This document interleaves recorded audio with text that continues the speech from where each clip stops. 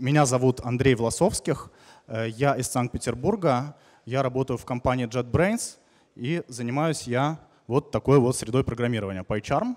Э, это, собственно, почему мне интересно присутствовать на конференциях по Python, рассказывать про него, потому что я разработчик IDE для этого языка.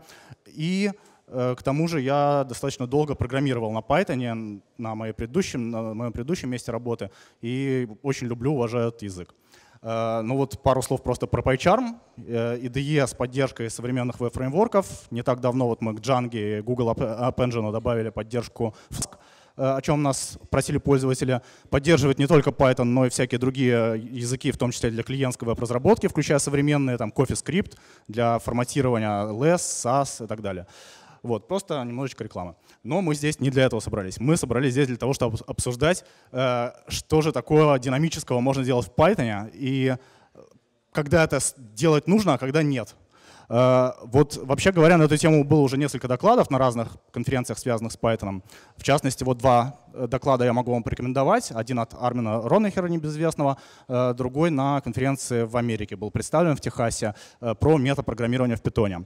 Там рассказывал детально, как это нужно делать, то есть какие средства, какие механизмы, как они устроены внутри. Вот э, в этом докладе я больше сконцентрируюсь на, вопросом, на вопросе, зачем это надо, что это дает и когда вот это использовать, когда не использовать. То есть я предполагаю, что у всех хоть какая-то степень знакомств, знакомства с этими вопросами есть. Э, если нет, ну извините, лучше послушать там какие-то еще доклады вот предварительные. Так что если среди вас есть совсем новички в питоне, то, возможно, этот доклад не совсем для вас. Но, тем не менее, продолжим. Значит, э, некоторое время назад в блогах появился такой интересный блог-пост э, от э, работника Гугла, тоже достаточно известного программиста, который вел заметки по тому, как программисты относятся к вопросам свободы и безопасности. И он проводил аналогию с американской политической системой. То есть в американской политике, как вы знаете, есть две только большие партии, не то, что у нас э, в России и в Украине. Э, там у них всего две партии. Э, одна из них демократическая, они как бы считаются либералами, другая консерватив, консервативная партия, они, соответственно, консерваторы. Ну вот в этом докладе немножко политики, но сам доклад, естественно, будет про Python. И вот этот автор предлагал Э, разбить э, все языки вот по такому политическому спектру, то есть какие из них представляют левые, либеральные силы, какие представляют правые, консервативные силы. Значит, у либералов, напомню, главная такая не знаю, главная ценность, которую они больше всего ценят, это личная свобода. Вот если кто-то мне что-то не дает сделать, если кто-то мешает моей свободе, не дает мне высказываться по любому поводу, которого хочу, вести себя так, как я хочу, значит, э, вот это мой враг, и я должен все делать, чтобы наконец-то расширить свою свободу до тех пор, пока мне этого захочется. В то время как консерваторы — это люди, которые э, не знаю, опасаются, что что-то может пойти не так, что, не знаю, существуют какие-то угрозы в мире, мир — это вообще опасная достаточно вещь, и должны быть какие-то барьеры, какие-то ограничения, которые сдерживают вот, общество, социум от э, всяких разных страшных явлений, там, от терроризма, от каких-то, я не знаю, связанных с безопасностью вещей, с, э, с, с тем, в общем, что не нравится либералам. Поэтому они друг другу противостоят. И вот по политическому спектру, такому, в кавычках, если разделить языки, то вот самыми либеральными языками, вообще в либеральную категорию попадают те языки, в которых есть динамическая типизация. А в очень консервативную категорию попадают языки со статической типизацией. То есть это в некотором смысле является такая очень, очень показательная вообще вещь, э, э, типизация языка. Динамическая типизация — это, в общем-то, с точки зрения консерватора, ее полное отсутствие. Да? То есть вы, в общем, делаете все, что хотите, хотите, а что там в рантайме произойдет, это уже ваше личное дело. Да? То есть, в общем, это здорово, это хорошо, и вот Python как раз к категории таких именно языков относится, языков, где все разрешено, казалось бы. А консервативные языки там нет. Вот если вы компилятору не докажете, что тут у вас ничего не, не может пойти не так, как надо, э, до тех пор программа у вас не скомпилируется. Но есть некоторый спектр, и вот Python, он находится э, ближе к середине этого спектра, вот все-таки либеральный язык, но ближе к середине. Вот мы обсудим почему. Да? Но вот как бы яркие примеры это там, не знаю, Ruby, в котором очень любят использовать monkey patching, то есть замену одних э, объектов э, в модуле на другие объекты в модулях расширения, например.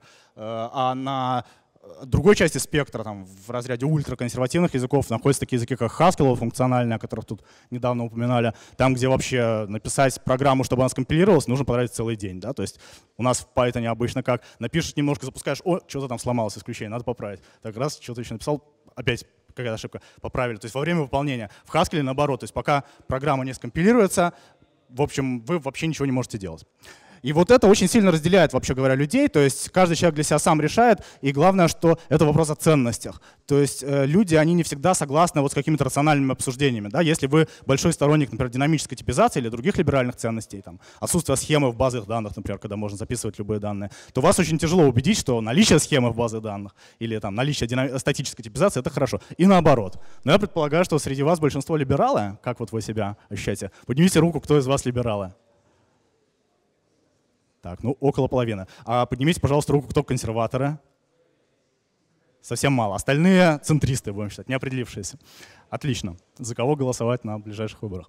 Эм, давайте перейдем дальше. Э, вот язык Python. Python, с одной стороны, язык с динамической типизацией, в котором есть разные средства метапрограммирования, о которых я сегодня, безусловно, скажу. Э, то есть с точки зрения самого языка, Python, казалось бы, должен был быть причислен к таким ну, достаточно серьезно либеральным языкам. Однако э, в сообществе программистов на Python есть такая удивительная вещь, что оно вообще, это сообщество тяготеет скорее к консервативным ценностям. То есть язык сам позволяет делать вам все, что угодно, в то время как ценности сообщества, что вы на самом-то деле должны делать, при том, что вам язык позволяет делать все, они ограничены. И вот это ограничение, оно наиболее ярко проявляется в документе Zen of Python, который вы все знаете, его очень много цитируют, что там вот можно делать. Заметьте, что это правило, да, они ограничивают вашу жизнь, они говорят, как вам нужно делать, чтобы все было хорошо. То есть это вот как раз такой элемент консерватизма.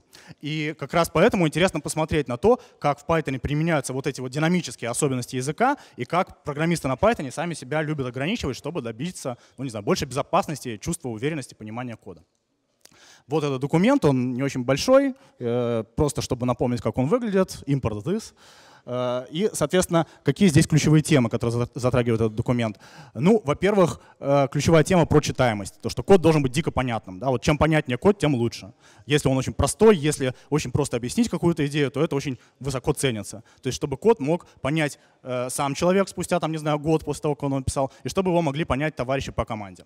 Еще одна ценность — это простота. То есть не надо перемудрять, потому что если вы действуете на пределе своей сложности при разработке, то при отладке все становится становится намного сложнее, и там предела вашей сложности уже не хватает, и вы сами себе выкапываете могилу тем самым. Да? То есть это вот такая тоже ценность, стремиться к наиболее простым реализациям, даже, может быть, ценой потери эффективности.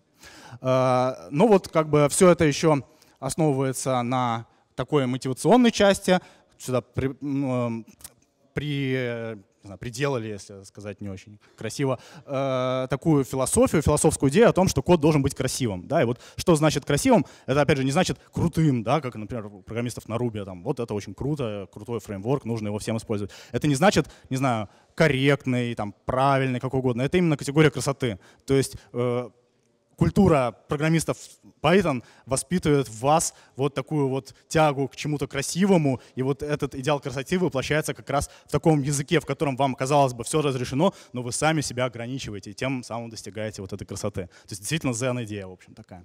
А, ну и вот понятие Pythonic, э, то есть код, написанный в питоновском стиле, она в некоторой степени вот это вот отражает. Э, ну вот давайте начнем с простого примера. В общем, он не, имеет особого отношения к динамике, но позволяет немножко почувствовать вот дух этого of Python. Вот импорты. В Python есть явно импорты, как вы знаете, в других языках их нет. В Ruby есть инклюды, в C есть инклюды, там, не знаю, в PHP вообще глобальное пространство имен, куда все что угодно можно писать. Э, вот в, в Python это не так. То есть люди явно кропотливо импортируют все функции, которые они хотят использовать. А если им нужно использовать очень много функций, то они импортируют сам модуль, вот как в случае с NumPy, называют его там, более коротким сочетанием, чтобы меньше писать, и потом используют np.sinus, например, или еще что-то такое. Вот это как раз вот знаменует такой один из, наверное, основных принципов of Python, явное лучше, чем неявное. Но есть и исключения из этого правила, то есть, опять же, частота, она не всегда является самым хорошим. Да? Это вот как раз нижний случай, который здесь описан. То, что на самом деле иногда нужно, вот, чтобы быстренько что-то заимпортировать, что-то попробовать, особенно в интерактивном сеансе. Поэтому есть звездочка. Но, как вы все знаете, в прикладных программах, по крайней мере, ее использовать не рекомендуется. То есть, может, в библиотеках, когда слишком долго написать все эти строчки импорта, но это всячески не рекомендуется. Да? То есть вот особенность языка, которая вроде как есть, но использовать ее не надо. Ну и плюс есть вот функции, которые уже сразу видны, э, built-in функция Len Open, но это, опять же, исключение для очень маленького множества, чтобы там ради такой ерунды не приходилось что-то импортировать. Э, ну вот сейчас, собственно, я поговорю о том, какие есть динамические приемы, и скорее вот в контексте того, э, когда их стоит использовать, когда не стоит, да, не, не, не особо глубоко поясняя их суть. Ну, затем вот, собственно, подведем какие-то итоги. Значит, начнем мы с такой большой темы поиск символов. Здесь будет очень много примеров, как в Python э, какой-то э, символ, э, какое-то имя ассоциируется с каким-то значением в, сам, в самых разных контекстах. И вот пример такой первый — это механизмы импорта, о которых вот только что мы начали говорить. Значит, в Python, как вы знаете, можно настраивать пути, откуда импортируются ваши модули. Есть переменная Python Path, есть в модуле sys словарь или список путей path который можно добавлять дополнительные пути. И вообще говоря, ничто вам не мешает в рантайме во время выполнения вашей программы добавлять туда в этот список новые значения. Таким образом, получать, не знаю, новые места, откуда вы можете импортировать питоновские модули. Э, очень здорово. Более того, есть примеры, когда это действительно полезно. Вот, например, наверняка все знают, что такое Virtual Env, который позволяет создавать изолированное отключение. И вот там без этого никак. То есть очень удобно, когда у вас там есть веб-сервер, вы можете создать изолированное для него окружение и никак не зависит по библиотекам от библиотек, которые, например, установлены на системе. Вот здесь это очень к месту. Да? То есть, казалось бы, такая вещь, которая открывает вот доступ к тому, чтобы все поменять. Чем отчасти мотивирован вообще так, так, такое решение дать доступ пользователям к расширению импортов? Ну, помимо того, что вообще Python как язык не должен ничего особо ограничивать, э, это все очень легко отлаживается. То есть даже если у вас есть какой-то модуль, который вы не знаете, откуда он произошел, вы можете в рантайме во время выполнения программы посмотреть на имя файла, откуда этот модуль был взят, если он был заимпортирован стандартным импортером. Э, ну и э, все-таки, несмотря на то, что есть вот разные там сторонние библиотеки, то же самое Virtual Env, Python всегда стремятся ограничить пространство возможных решений, которые человек может принять, чтобы он выбирал наиболее очевидное решение, которое все поймут. Поэтому вот начиная с Python 3.3, который вышел не так давно, наверное, в октябре, добавляется PyVN, в который, в общем-то, функционально почти что соответствует вот этому стороннему модулю Virtual Env. Полезная штука. А, Еще про импорты. Механизмы импортов. А, через расширение через импорт-хуки, то есть э, места, в которые можно добавить свой собственный способ импорта. А, есть некий протокол, как это все делается, то есть можно создать свою функцию, которая говорит, как найти модуль, создать свою функцию, как загрузить модуль. Но вот здесь уже начинаются такие очень неявные моменты. Откуда эти модули могут браться? Это не обязательно файловая система, это может быть все что угодно. Это можно по сети импортировать модули, например, если вы напишете соответствующий код. Можете, я не знаю, сделать какое-то версионирование этих модулей, все что угодно. То есть вот в частности в тех презентациях, с которых я начал, с тех докладов, там это все есть, можно почитать подробнее, как это работает. Но смотрите, зачем это надо делать? Да? Ведь это же фактически вы тем самым делаете обычную привычную конструкцию, импорт имя модуля, очень неявный, потому что программист, который будет читать этот код, он не поймет, что происходит. И поэтому вот эти вот все вещи, хотя это выглядит интересно, там импортировать прямо проект с GitHub, а не устанавливая его на свой компьютер. Но это очень провокационно. То есть программист на Python должен э, умерить свой пыл и использовать, не, не менять работу стандартного механизма, оставив это только для каких-то специальных случаев. То есть если, например, я не знаю, в какой-то Unix-системе очень медленно загружаются Python-модули, допустим, э, потому что слишком много путей нужно просмотреть обычно интерпретатору, чтобы найти тот самый файл, который он находится. Все sys.path, sys.path, все возможные варианты расширений файла, это очень много хождений по файловой системе. И в принципе может возникнуть идея у разработчиков операционной системы, там какого-нибудь дистрибутива Linux, давайте мы будем кэшировать эти пути. Вот с помощью этого механизма это можно сделать. Но опять же это сделано для того, чтобы дать возможность поменять систему ну, в некоторых исключительно случаях э, вот, не, не предназначенных для рядового программиста. Э, Пойдем дальше. Таблицы символов. Ну вот с этим, может быть, очень много кто сталкивался. Это вот небезызвестная функция globals и locals, которая возвращает словари, dictionaries, в которых содержится отображение переменных в глобальных локальных пространствах имен в их значения.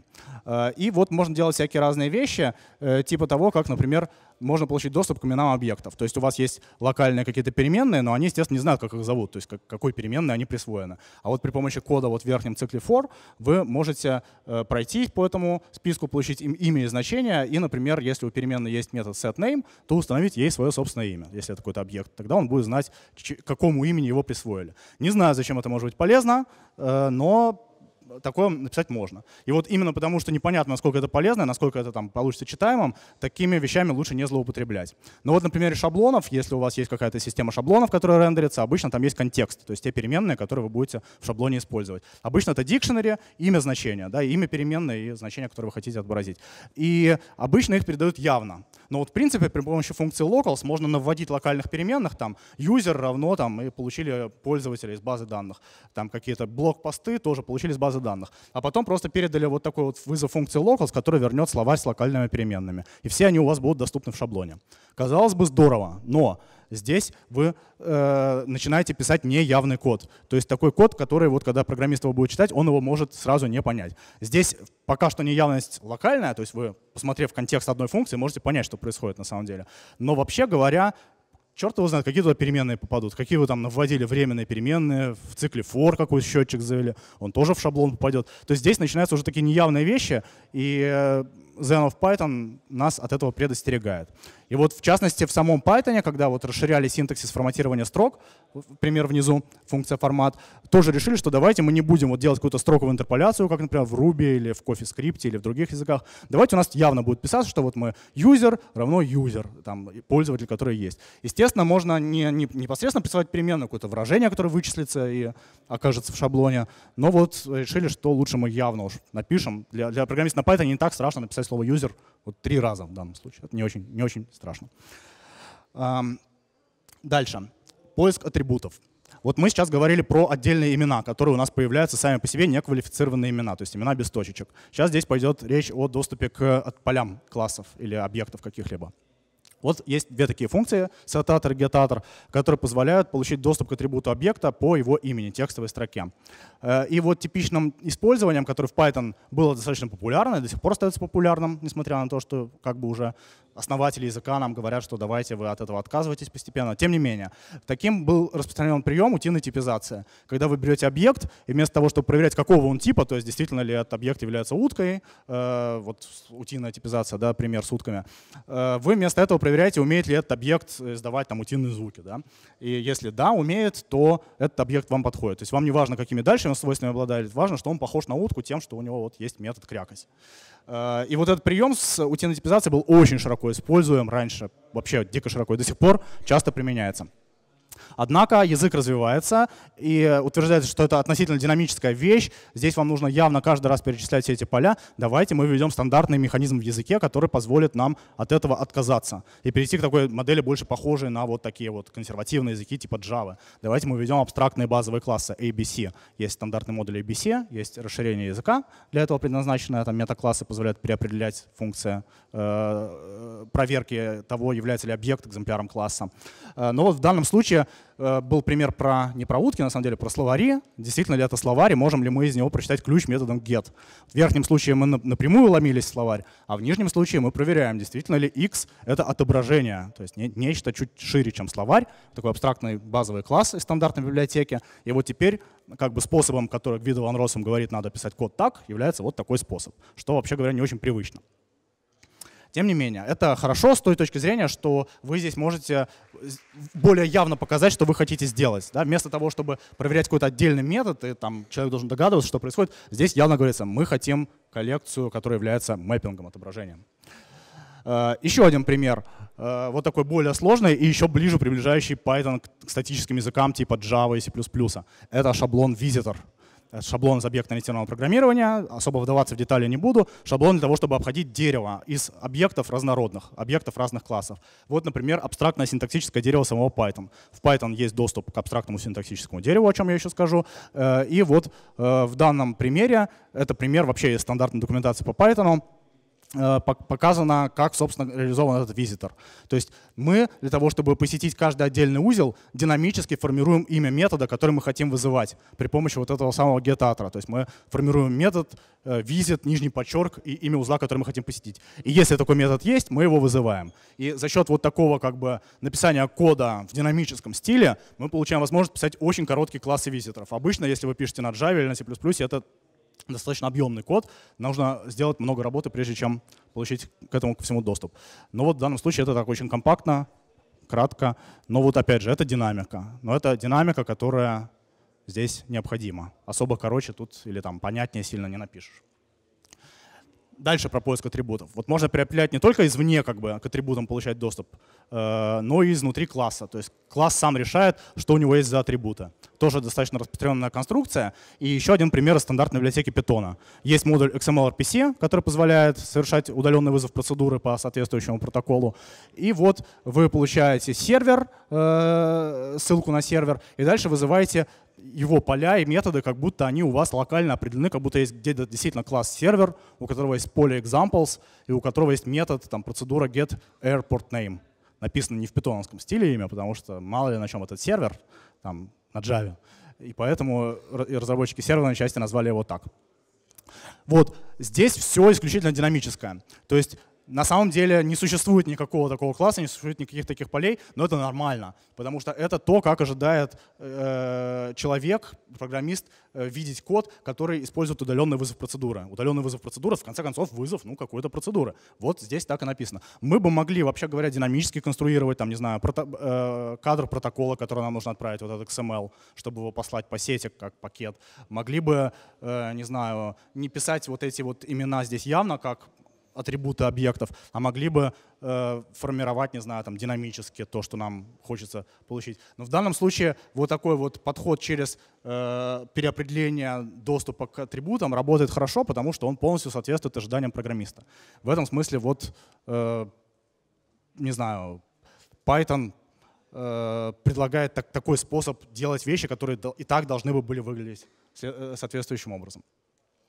Сейчас э, чуть более редко используемая вещь, если до этого вот getAttree, set, attribute, все, все эти методы, они, по крайней мере, на слуху, вот дескрипторы, они менее на слуху, потому что обычному программисту они нужны меньше. То есть в самом-то питоне их используют очень много. Каждый раз, когда вы определяете свойства через собачку property или просто определяете просто метод класса, уже используются на самом деле дескрипторы э, даваться в, там особо в детали не буду, скажу лишь, что э, дескрипторы позволяют переопределить то, а каким образом считывается значение из поля. То есть можно вынести логику считывания значения из поля и описать ее один раз в другом месте, как бы повторно использовать потом для однотипных полей объектов. Но вот здесь, в частности, показано, как можно сделать ленивую загрузку какого-то поля. Например, поле вот в примере снизу характеризует э, какое-то содержимое файла по такому пути, и нам нужно его зачитать, этот файл. Но только тогда, когда он действительно нужен, потому что мало ли, не знаю, не понадобится.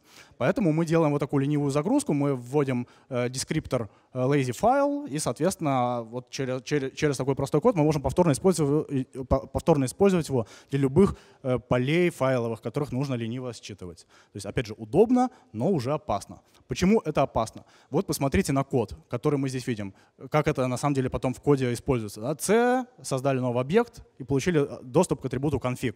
Здесь нигде ничего не говорится, что это какой-то нестандартный атрибут. Да? Ведь этот код не обязательно должен быть написан рядом, скорее всего, это будет где-то совсем в другом месте. И вы по этому коду не догадаетесь, что здесь используется еще какая-то логика. Да? То есть вам нужно сделать здесь три действия.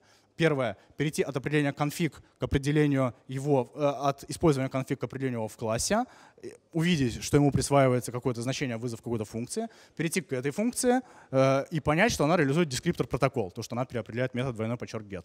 То есть это достаточно неочевидно. Вам нужно три раза пойти куда-то, чтобы узнать, что здесь происходит. Если только вы к этому не привыкли. Именно поэтому в Python, скажем, там, собачка property никого не удивляет, потому что все знают, что это делает, и что эта конструкция делает, уже не надо идти проверять, что действительно дескриптор, что там что-то возвращает. Там, большинство людей про это даже не, не думают. То есть когда это очевидно, когда это просто читается, слава богу. Если это читается сложно, то здесь надо 10 раз подумать, чтобы это делать. Следующая вещь, не знаю, на мой взгляд, еще более редко используемая, это метаклассы. Метаклассы, они классы классов, да, то есть позволяют задать как бы шаблон, по которому формируется класс. Так же, как обычный класс шаблон, по которому формируется объект. То есть определить, какие у объекта будут методы, какие у него будут свойства, какое у него будет поведение. Здесь то же самое, только для класса. Вот это вообще такой еще менее явный механизм, но он проник в стандартную библиотеку Python. Вообще это такая особенность языка очень спорная, потому что, ну вот, не знаю, менее явную вещь придумать тяжело. Причем это вот, да, введено в сам язык, это очень-очень много где используется, и это неприятно. То есть вот в данном случае у нас э, появляется возможность создавать там свои метаклассы, переопределять проверки для наследования, то есть мы фактически не вводим никаких методов, но вот э, сами, да, но наследуемся от этого, говорим, что у нас будет вот такой метакласс ABC мета, то есть abstract base класс мета. Э, и у нас у класса C магическим образом появляется метод register. Что интересно, что у класса этот метод есть, А вот у объекта этого класса этого метода нет. Что, вообще говоря, подозрительно. То есть такого не бывает. Если бы не метакласса, такого бы быть не могло. Вот, то есть метаклассы, они вводят какое-то новое поведение, которое при, не знаю, первом знакомстве это точно поставит в тупик, но и впоследствии, когда вы будете видеть объект метакласса, у вас могут, быть, могут возникнуть проблемы при отладке такого кода. Э, ну вот, например, где их использование можно ну, как-то оправдать. Вот есть такая библиотека, тоже нестандартная библиотека Python, но тоже некая библиотека для описания э, бинарных э, протоколов, кадров бинарных протоколов, таких как TCP, IP, ICMP, вот эти вот сетевые передачи данных, там, где нужно биты правильно положить в пакет. Э, вот в Python есть модуль struct, который позволяет запаковывать вот как раз такие байты, биты там, с нужным порядком байтов. Но хочется как-то высокоуровнево описать структуру пакета, чтобы мы могли сказать, что вот в этом месте кода у нас декларативно описана структура пакета. И вот здесь приведен фрагмент описания такого TCP-пакета э, с соответствующими полями. И сделано это через метаклассы на самом деле. Э, догадаться об этом сложно, потому что если вы смотрите на этот код, это обычный класс, но он наследуется от класса packet. Если вы пойдете в класс packet, вот там будет написано, что это на самом деле класс, у которого настроен метакласс. То есть степень явности большая. Что происходит, не очевидно. Э, вместо этого на самом деле проще э, сделать декоратор, который теперь в Python можно декорировать классы, э, это позволило бы вам явно сказать, что вот конкретно для этого класса TCP что-то происходит. То есть когда вы хотите изучить его структуру, здесь, по крайней мере, явно сказано, что, что здесь происходит с этим классом. Я напомню, что декораторы, они ну, фактически оборачивают только один класс, а вот наследника уже не обернут, да, потому что это все действует на уровне одного класса. У наследника все будет как обычно. Декораторы не наследуются, естественно, просто вызов функции. Вот, то есть в данном случае в язык был добавлен механизм, он сомнительный, э, зачем он был нужен, непонятно, но вот, видимо, для того, чтобы все-таки реализовать вот эту идею с явной проверкой на isInstance, чтобы программисты на Python перестали использовать утиную типизацию. Э, вызывают вопросы. Ну, теперь перейдем к таким еще более магическим приемам, связанным с доступом непосредственно к интерпретатору Python. Ну вот котики здесь тоже должны быть, э, поскольку все-таки про политику у нас сегодня немножко. Э, вот, например, стековые кадры. Э, стековые кадры, или по-английски stack frames, это такая вещь, состояние интерпретатора для данной функции. То есть она содержит в себе переменные для данного кадра стекового, э, ссылку на текущую выполняемую в коде инструкцию в данном стековом кадре, ссылку на объект с кодом, по которому можно понять, что это за инструкция. То есть, условно говоря, это вот те самые кадры, которые кратко упоминаются в виде одной строчки, когда у вас происходит исключение. То есть у вас что-то выпало, у вас вот идет срез по тому, как вот вы получали, э, проходили через эти стековые кадры. Так вот, Python динамически предоставляет вам возможность залезть в стековые кадры вашего интерпретатора и что-то с ними сотворить. Э, здесь можно делать много разных, разных интересных вещей. Очень кратко про то, что можно, без особого пояснения, почему это так. Вот, например, можно сделать нелокальный доступ к символам. То есть раньше мы вот при помощи globals и locals преопределяли функции, ну вот либо в своем локальном пространстве имен своей функции, либо ну в глобальном пространстве имен в крайнем случае. А здесь мы можем преопределить символы в пространстве имен того, кто нас вызывает. То есть откуда мы знаем, кто вообще вызывает нашу функцию? Мы написали библиотеку, ее вызывает пользователь, мы вообще понятия не имеем, что у него за код. Тем не менее, мы можем туда влезть и что-то сотворить. Но вот здесь это используется в простом виде, э, чтобы понять, что происходит. Значит, берем фрейм на один уровень выше и лезем туда в словарь locals, добавляем туда значение по такому-то ключу. То есть таким образом у нас появляется функция, которая в локальной, в этой области видимости имеет возможность добавить новую переменную. Ужасно достаточно страшно. Здесь не страшно, но смотрите, что можно сделать с этими вещами. Например, можно сделать оптимизацию хвостовой рекурсии, о которой мы недавно послушали. Это вообще меняет, в принципе, то, как э, язык рекурсивно вызывает функции. Да? Это там различия вашего кода с доступом, вот обыч, обычным доступом к этому стековому фрейму будут настолько же велики, насколько сильно отличается stackless Python от обычного C-Python. То есть stackless Python вообще нет стека, там свой механизм работы со всеми этими вещами. Здесь у вас тоже появляется вот такая вещь, там, не знаю, из мира функционального программирования. Она, правда, будет очень медленно работать, но так сделать можно. Если там интересно, вот в тех презентациях рассказывалось, как это сделать. Это ужасно. То есть это вообще меняет представление человека о том, как работает код. Значит, еще одна страшная вещь, тоже взята из вот, похожих динамических языков, очень либеральных. Я не помню откуда точно, не то из Perl, не то из PHP. Простите, недостаточно хорошо с ним знаком. Э, вот, например, можно написать такую функцию f, свою собственную, которая в зависимости от того, как ее вызывают, будет делать разные вещи. Вот если ее просто вызвали, ничего не присвоили, она сделает что-то одно. А если вы в своем коде, когда вызывали эту функцию, присвоили ее переменную, она будет делать что-то другое. Но вот, опять же, в одном из этих языков это используется таким образом, что вот если вы присвоили значение, то она его вернет. А если не присвоили, она его напечатывает в std-out. Представляете себе, какой ужас? В зависимости от того, что вы там присвоили или нет, у вас изменяется поведение вашего кода. Это очень динамическая вещь. Программисты на питоне это, не знаю, страшно, это опасно. Это нарушает принцип э, того, что у вас по коду должно быть понятно, что происходит. Вот если вы увидите вот такой вот вызов функции, вызвали функцию f, или вызвали функцию y равно f, вам в голову не придет, что там кто-то на, на нужное количество стековых фреймов поднялся и что-то здесь проверяет. А не является ли следующей инструкцией, которую выполнит интерпретатор, инструкция присваивания переменной? Ужасно но это полезно для отладки. В частности, вот есть система шаблонов Jinja неплохая, э, в которой есть режим отладки, который печатает строчки в шаблоне, где произошла ошибка. Вот э, это из доклада Армина Ронахера, ее автора. И он это сделал как раз вот э, через доступ к этим стековым кадрам. То есть он динамически может посмотреть, потому что Jinja компилируется в питоновский код, но в этом питоновском коде, естественно, строчки не соответствуют джинжевскому коду шаблона. Это там намного больше, видимо, строчек должно получаться. Но за счет вот ползания по он может найти соответствие тем самым строчкам, с которых он начинает. Например, там, добавив комментарий или еще каким-то образом. И потом найдя их в синтаксическом дереве той функции, которая, собственно, у него сгенерирована. То есть сложные вещи, они хороши вот для тестирования, для отладки, но не дай бог использовать вот в вашем коде какую-то там, не знаю, манипуляцию со стеком. Очень страшно, очень опасно. Более того, эта штука называется с нижним подчерком. Это еще один пример как раз такой динамической особенности Python. В Python, вообще говоря, нет да, protected переменных, private переменных. Ну, есть private, но очень, все равно к ним можно получить доступ, если захотеть. А protected точно нет. Но есть конвенция, по которой, если у вас переменная начинается с нижнего подчерка, трогать ее не надо. То есть можно, но не нужно. Это как раз пример консервативного подхода. То есть сочетание либерального языка с консервативным правилом. А, теперь интерпретация кода. Давайте уже свой код выполнять. Хватит смотреть, что там Python за нас выполняет. Давайте свой. Вот есть всякие разные функции стандартные. val, exec, exec файл. Более того, ну там в Python 2 одна из них ключевое слово, неважно. Python 3 они все функции. А, и здесь предлагается делать вот что. У вас есть строка, просто обычная строка, а мы будем ее вычислять.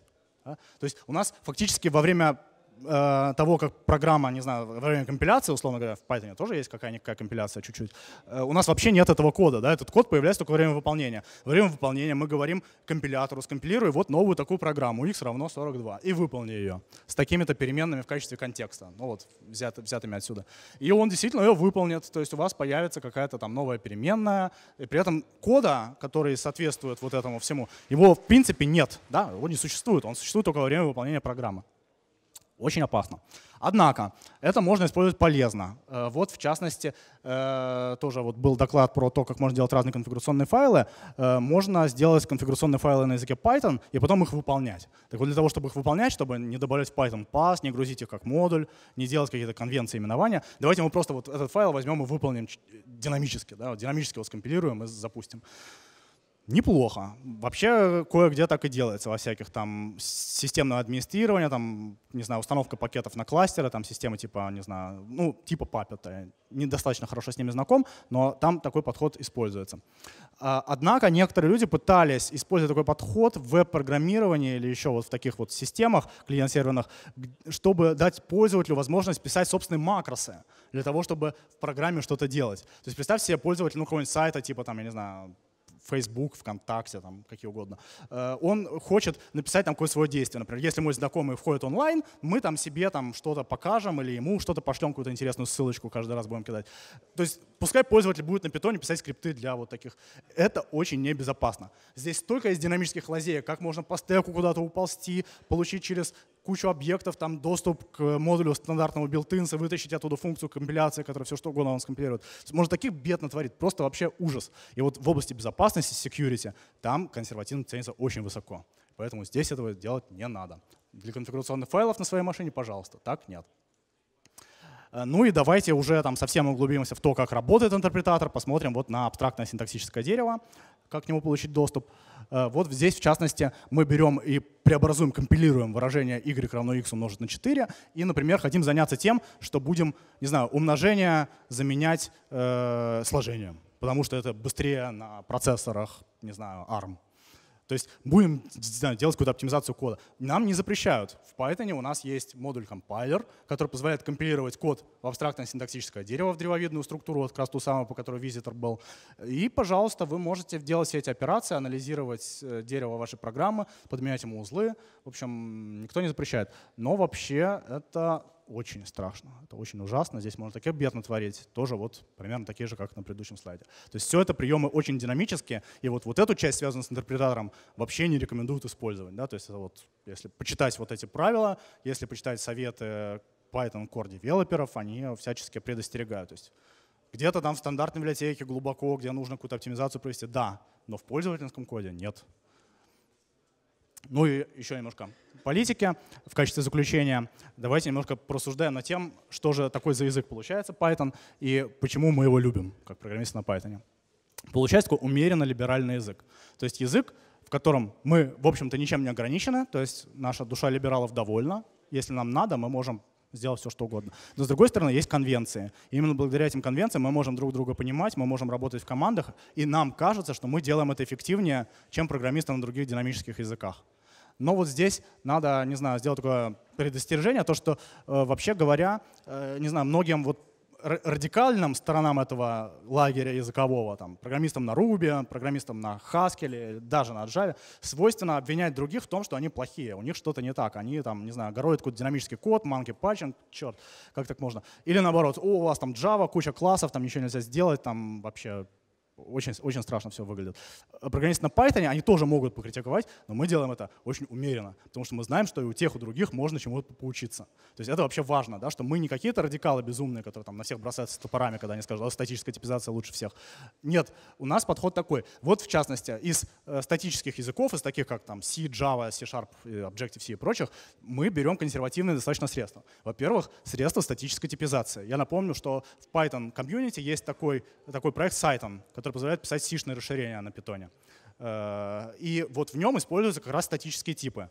И мы к этому хорошо относимся. Мы считаем, что это отличный инструмент, который позволяет повысить производительность критичных к этому участков кода. Мы его любим. Поэтому мы э, не знаю, с уважением относимся к статической типизации в некоторых местах. Опциональные типы. То же самое. В Python 3 добавили, например, аннотации к типам. Их, конечно, можно использовать как угодно, согласно либеральной традиции, но можно писать там типы и потом, более того, их можно проверять, их можно, я не знаю, там, использовать просто в целях документирования. То есть мы это тоже используем, мы не боимся указывать статические типы, потому что этот язык достаточно консервативен.